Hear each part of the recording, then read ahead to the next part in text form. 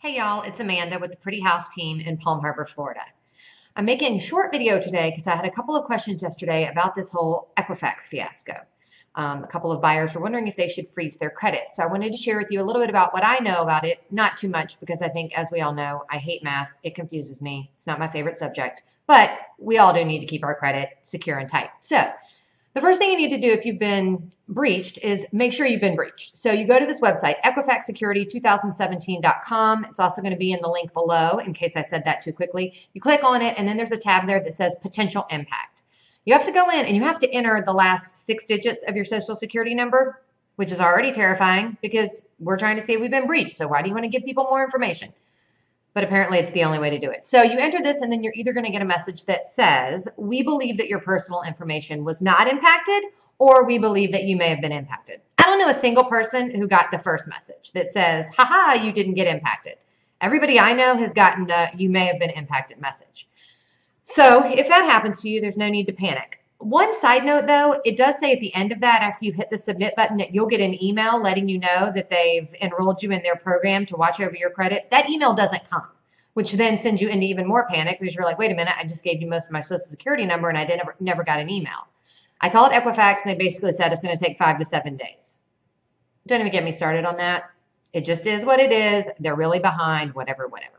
So anywho, if we want to move on to how to freeze your credit, you can do it online, but nobody that I talk to recommends you do that because it's just not – as private and as secure as picking up the phone and calling. Also in the link that I've provided for you, you're going to have every phone number you need to call and freeze your credit. But what does it mean?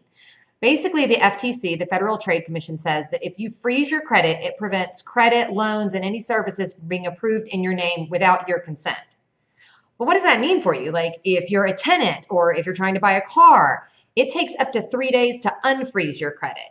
So if you freeze it, it it's locked tight, supposedly, but it will take you free three days. So if you're at the Gap and they're throwing in a free pair of boxers with a t-shirt purchase, just if you sign up for their credit card, you won't be able to do it because your credit's frozen. But how important is that pair of socks really? It's not. Okay, so next up is it's not free.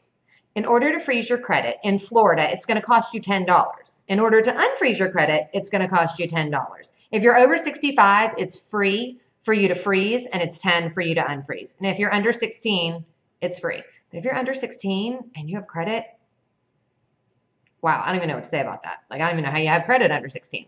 Okay, so again, if you want to know where to begin, just click on the link below. All the numbers will be listed and also the details of what I just went over because, again, I know I talk fast, but I think it's important that we get ahead of this before the bad guys, don't know who the bad guys are, but before the bad guys get a hold of our credit and they've all like gone out and bought cars and fancy rings and jewelry and perfume and whatever bad guys buy. So anyway, freeze your credit.